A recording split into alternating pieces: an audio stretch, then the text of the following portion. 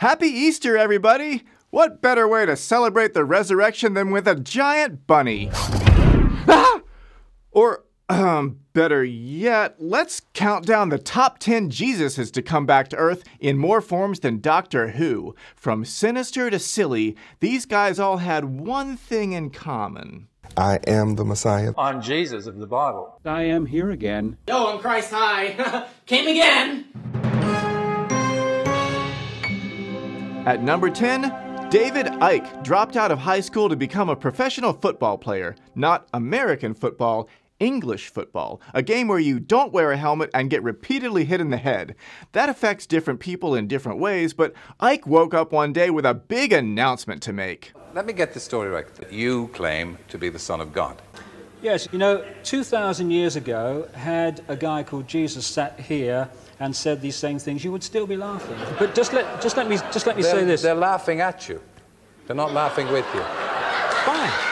Yeah, I don't think that went the way he planned, but it didn't stop this prophet from delivering his message of peace, love, and doomsday. You have an awful lot of predictions. Mm-hmm. When may we expect tidal waves, eruptions, earthquakes? Well, it will certainly happen this year. The first sequence will begin this year. That year was 1991, and he predicted the complete destruction of humanity would be around 97. So. Why should we believe you? If I am saying that these things are going to happen this year, then we'll see, won't we? Yeah, we sure did, but hey, why dwell on the past? Since then, Icke has written over 20 books to direct your attention away from his embarrassing failures and onto his new revelations, such as The world is being run by alien reptiles in disguise, and The moon is actually a hollow spaceship. Let's see what else. Oh, recently, Icke made a new announcement. One of the fundamental freedoms is the right to be wrong the right to be an idiot. David Icke, everybody, champion and protector of the right to be an idiot.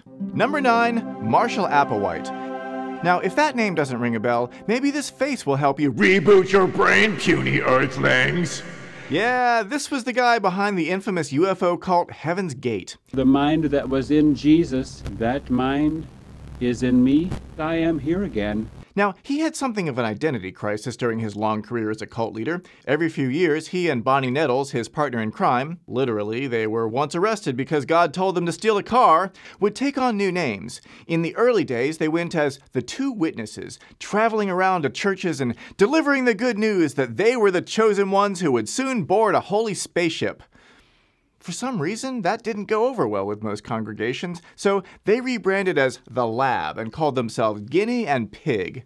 Aw, what woman doesn't want the endearing nickname of Pig? Then they rebranded again as, I'm not making this up, Anonymous Sexaholic Celibate Church and called themselves Tiddly and Wink. Then changed it again to Human Metamorphosis and went with Nincom and Poop. I'll bet she loved that nickname even more. And then Bo and Peep the holy shepherds leading their flock like lambs to the spaceship. His followers would literally die for him because whatever he called himself, Marshall was also the Son of God. Number 8, Hulon Mitchell, better known as Yahweh ben Yahweh, a name this humble man gave to himself because. I am, in fact, Yahweh ben Yahweh in Hebrew. That means God, the Son of God in the flesh. I am the Messiah that the whole world is looking for.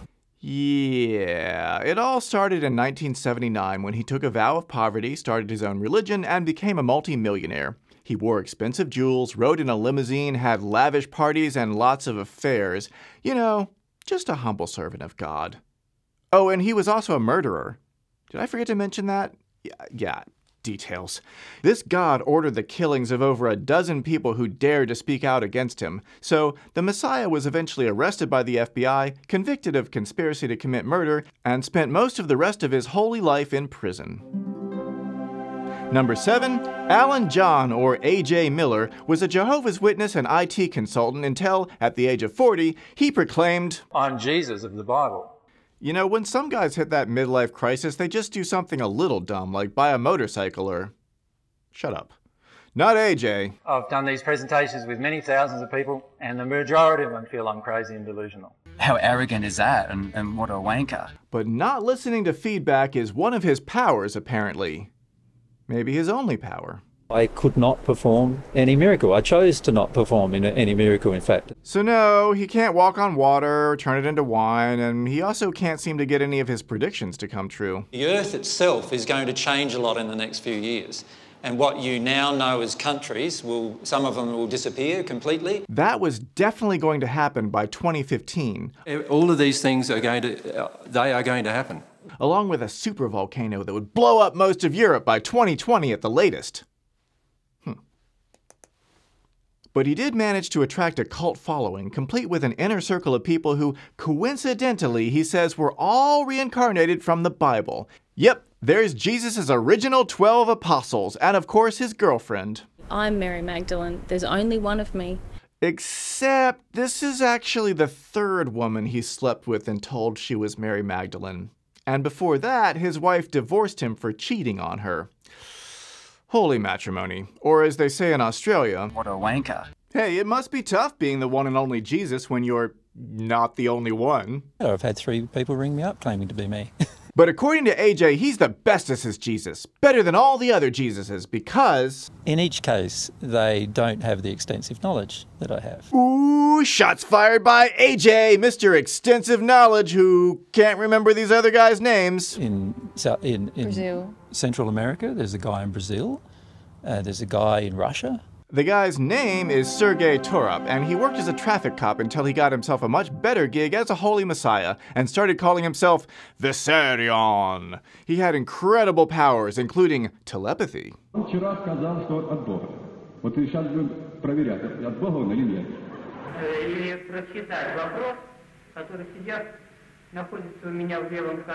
То, что мне дано, мне дано Но это не значит, что я должен показывать этого каждому желающему. Or not, but he also had the power to communicate with aliens.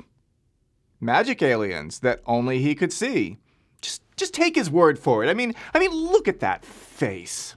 Also, he had the power of prophecy. For years, he predicted that the end of the world was imminent because Earth was about to collide with a planet called Nibiru.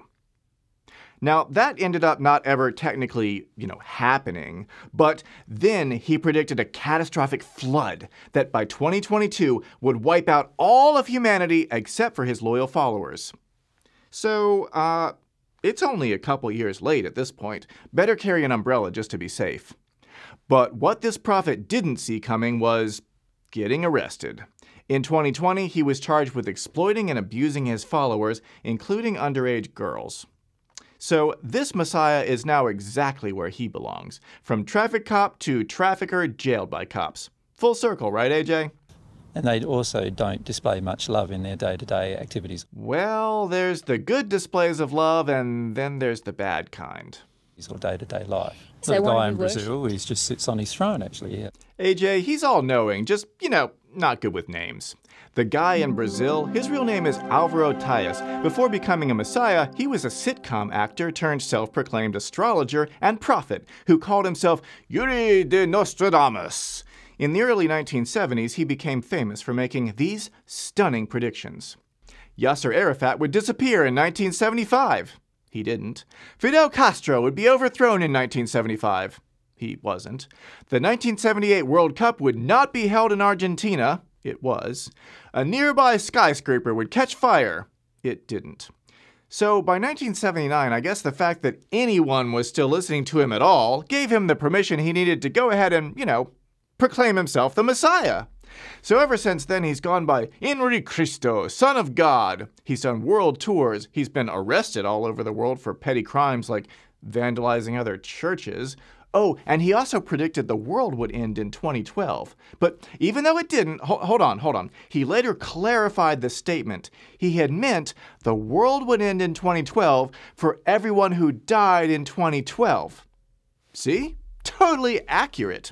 These days, he mostly just chills at his compound, hangs out with people who weren't even alive back in the 70s, and contemplates what would Jesus do if you gave him a scooter? Number four, Charles Manson. I was convicted for being the father of this country. I was convicted for being Jesus Christ and the devil. And don't forget murderous cult leader. In the 1960s, Manson used his uh, charisma, to gather up a group of young followers who would worship him like a god.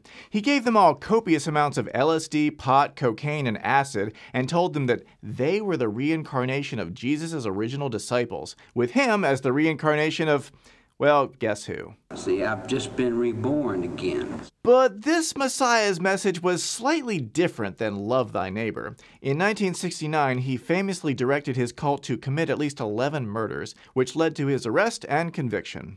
I know the cross is there. You don't have to put me on the cross. No, a prison cell will work just fine. Now what I'm trying to do is get back to earth so I can go out in the desert. Now, who knows if Manson actually believes a word of what he's saying during these interviews, but to at least some people, he was Jesus, and to a lot more people, he was the devil. Now, prior to his career as a wrathful deity, Manson was a member of the Church of Scientology. They produce such quality people.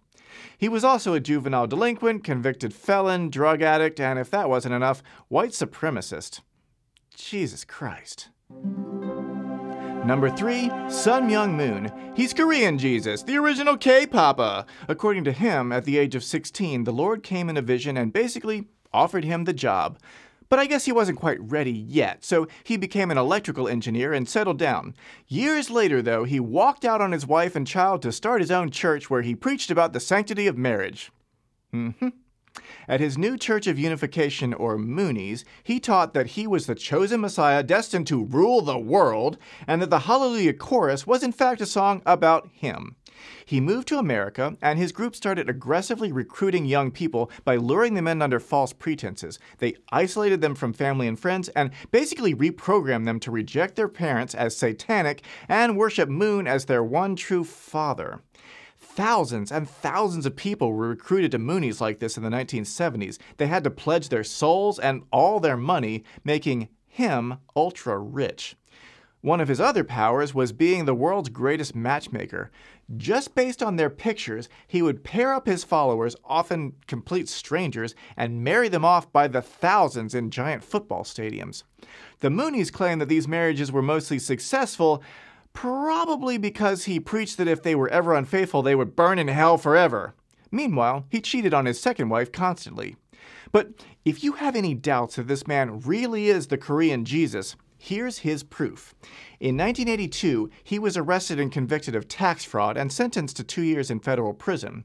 According to him, this was the equivalent of the death of Jesus. Yep, and when released after 13 months for good behavior, it was just like the resurrection. Yeah. Remember how the real Jesus was nailed to an IRS audit and then rose again from the prison cell? It's basically the same thing. Number 2.0 is Jeff Ayan, aka Ender Ionethos, aka Jeff Divine, aka. Fucking Jesus 2.0. Uh. Uh. He's serious. I'm telling you that I'm the prophesied second coming. I am the Master Christ, or I've said that I'm the Master Christ. Yeah, I, I, I said that. I, I coined that term. I made that up. I literally just made it up. Yeah, so the Messiah and his partner Megan Plant, aka Shaleia Divine, are the leaders of Twin Flames Universe, or TFU, which might also stand for They Fuck You. Here he is sharing some inspirational words with his unpaid followers. My business depends on all of you. And I want to make sure that all of you doing your fucking jobs. Everyone's going to be looking at everyone else. Their business is to sell promises of eternal love and happiness for the low price of all your money and time, which you must devote to serving them. Sounds like a fair deal, except that people who have escaped the alleged cult report that it made them miserable, they did not find love, it destroyed their relationships, and they went broke giving all their money to this guy so he could buy these. This is the Porsche.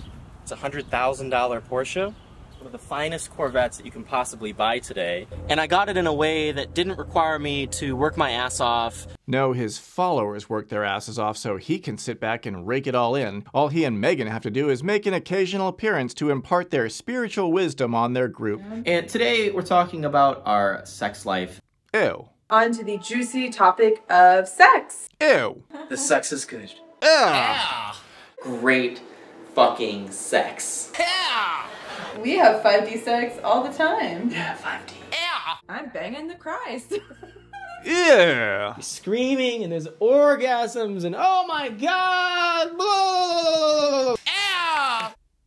I'm gonna go shower in disinfectant now. Before he got into being the Messiah, Jeff was kind of a New Age hustler. Among other scammy businesses, was telling people he could cure their cancer with his mind, for a fee, of course. What was it Jesus said? Scam the sick and care for the Porsche. That was it. I just bought a Porsche. You know, that was sweet. Sweet Jesus. Okay, this brings us up to Jesus number one. But first, please subscribe. It really does help me put out these videos to promote critical thinking over con artists. You can also help this video get seen by clicking the like button and, and leave a comment about which Jesus was your favorite and why. I'd love to hear what you think. And with that, our final contestant, more than just Jesus, was also the reincarnation of the Buddha, Father Divine, Vladimir Lenin, and an Egyptian pharaoh. Bust out the Kool Aid, it's Jim Jones! Oh, yeah! Sorry, sorry, it, it's not actually funny. This guy killed a lot of people. He ruined a lot of lives, wrecked a lot of families, and he did it all while looking like a douche. Jimmy Boy here gets the number one spot because if you're playing Deranged Cult Leader Bingo, he checks every single box. You can follow along on your card at home. Jim didn't get much love as a child, so acted out by killing small animals, shooting at people with BB guns, and sometimes a real gun. Hmm.